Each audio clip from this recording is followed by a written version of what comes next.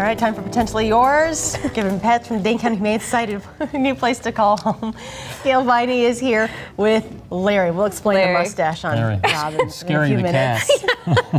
Yes, this is, I know this is a little crazy, but we're having mm-hmm. actually a big promo on Thursday, and it's called Cinco de Meow. Uh, and and so one. we're going to have $5 off all of our cat, or actually, our Oh. cat adoption fees are only $5. So Oh, it's that's a huge good. reduction. So we're having a huge feline fiesta. But Larry is one of the available Larry. cats. He's a great cat. He was just found strayed only a couple weeks ago, Really? and um, just has a really great personality. Very outgoing. Obviously, he's letting me wear this, or letting letting you, he letting put you the hat on, a silly Yeah. hat on the cat. So he's got a great um, demeanor, and he's just a fun He guy. seems very that, healthy. Yeah, he's you in know. good shape. He was He's- somebody's kitty. Mhm, And he was just roaming stray. He didn't have any form of identification on Mm-hmm. him, and so poor guy.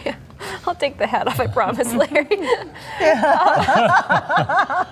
like, Gail, why are you doing this to me? But yeah, I just found stray, and so we're trying to find that good forever home. And coming out on Thursday, you get only pay only five dollars for them. So great feline And they fiesta. come with their, their shots. They've already uh, been spayed or neutered, microchipped, and have received all their Wow. vaccinations. All right, I'll take that. That off is you, a buddy. deal. So you really are getting a of great. You know, we are doing okay, but we're getting right into kitten season right now, where we're Mm. going to start to see the litter. So we want to get these adult cats that are awesome into those Mm-hmm. forever homes. So again. Come on out this Thursday, and it's at Mm-hmm. all of our locations, so even the Mounds and our West Side Adoption Center. Okay, last week's pet. Oh, the cute Anna bunny, and she's Yes. still looking for a home. Oh. So come on and give Anna a home, and um, all of our bunnies. We've got a lot of these Californian style that have the brown nose and brown ears, white body. Okay. They're cute. And this doesn't compare to the mustache that you sported 20 years Yeah. ago, but you know. Well, I am kind of a big deal.